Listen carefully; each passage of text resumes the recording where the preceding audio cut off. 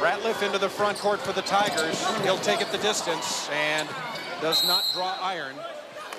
And guess who?